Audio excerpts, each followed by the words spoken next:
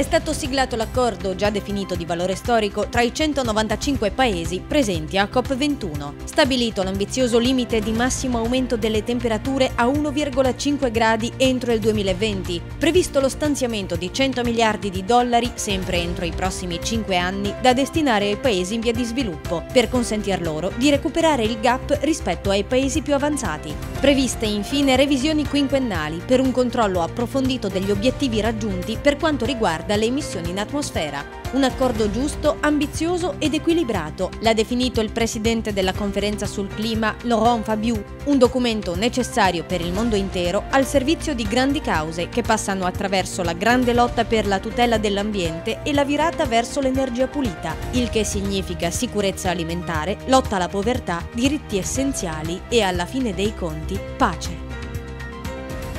Papa Francesco all'Angelus ha commentato l'esito della conferenza sul clima di Parigi. Ora è necessario proseguire con sollecitudine, ha dichiarato. L'accordo raggiunto richiederà un impegno corale e una generosa dedizione da parte di ciascuno, auspicando che venga garantita una particolare attenzione alle popolazioni più vulnerabili, esorto l'intera comunità internazionale a proseguire con sollecitudine il cammino intrapreso nel segno di una solidarietà che diventi sempre più fattiva. Queste le parole di Papa Bergoglio. español.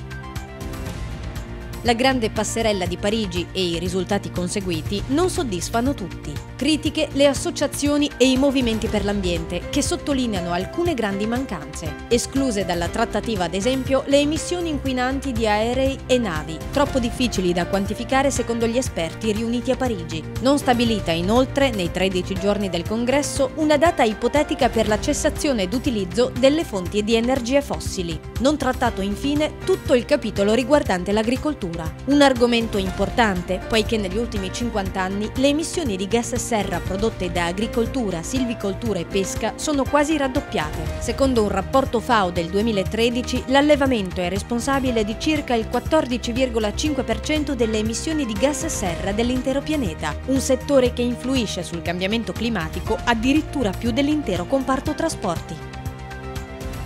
Parma conquista il titolo di città UNESCO della gastronomia, un riconoscimento che premia tutta la regione Emilia-Romagna, territorio famoso nel mondo per l'eccellenza delle sue produzioni e per la qualità della sua cucina. Parma, che si associa a Bologna, già riconosciuta città creativa per la musica, diviene ambasciatrice nel mondo dell'intero comparto agroalimentare, che annovera perle quali il parmigiano reggiano e il prosciutto di Parma.